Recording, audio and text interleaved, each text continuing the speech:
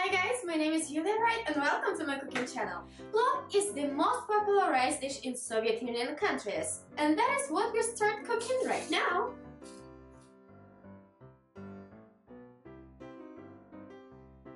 And so we start our cooking process with meat.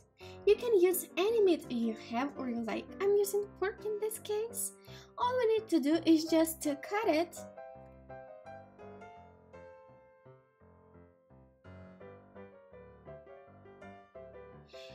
Out a little bit of oil into the pot and place your meat into it.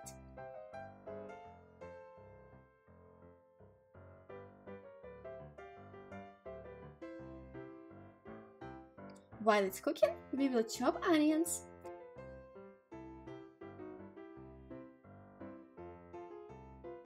And send it to cook with our meat. If you feel like you need to add a little bit more of oil, don't be afraid to do that.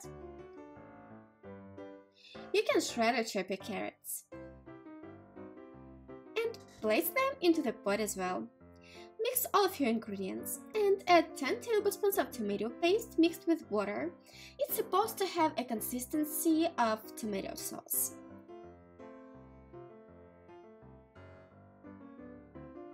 Stew it for about 10-15 minutes and add 2 cups of rice with 4 cups of water. Add salt and pepper. When water starts to boil, cover your pot and stew it at a low heat until your rice is ready.